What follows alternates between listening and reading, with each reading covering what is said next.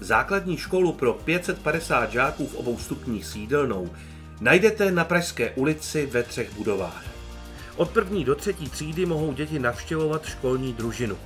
Učebny jsou moderně vybavené interaktivní technikou. Součástí školy je také uzavřený komplex zahrady s běžeckou dráhou a hřištěm s umělým povrchem. V nepříznivém počasí se sportovní aktivity žáků přesunují do městské sportovní haly, která je nedaleko.